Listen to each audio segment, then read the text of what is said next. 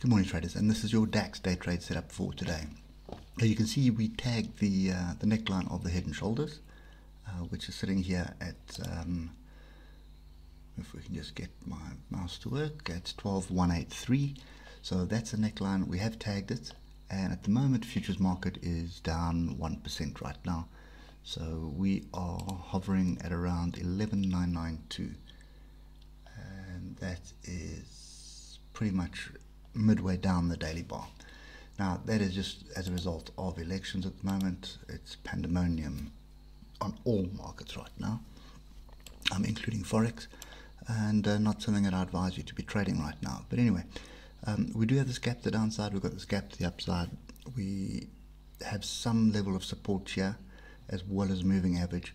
So this 11926 is the area we need to hold. If that area holds, um, then I would expect this uh, sort of upward trend to continue. So if we just drill down to the hour, uh, what we want to wait for is uh, wait for the European Open to see what's going to transpire, obviously. But I suspect um, the futures market is pretty much going to do this. It's going to be bouncing up and around until um, they have a clear winner. At the moment, it's uh, neck and neck. There's no real clear winner. It's a lot closer than what everybody is expecting, and uh, so anything's possible right now. This is the level that we're looking to hold. That's 11926. We break that, then I suspect we'll close a gap, and then possibly, uh, more than likely in actual fact, move down into this area here, which is 11664 to try and find some support. Okay, so that's kind of the um, the view that I've got at the moment. Uh, the next one is really we're at uh, trendline support as well. Okay, so yeah, I would expect some kind of a base to be built if we if we're going to move to the upside, and the base needs to be needs to come back down 11924 or um, round the gap, or alternatively in this zone here of 11664.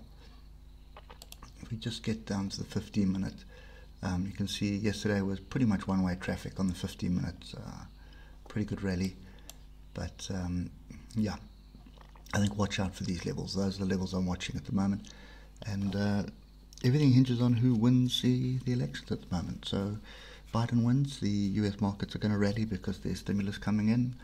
Um, and if uh, Trump wins again, then markets are probably going to go sideways, uh, first down and then sideways, uh, because there's really a lot of uncertainty as to how much stimulus is coming into the market because uh, Republicans don't really agree on putting that much money into the market.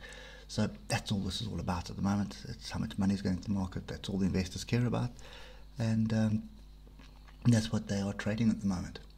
So anyway, uh, my advice at the moment is stay out of it. Wait until we have a, a clear winner, and then start looking for structure to trade. And uh, these are the levels you need to watch. Okay. Uh, anyway, guys, short and sweet. Hope it helps, and uh, we'll catch you later. Cheers for now.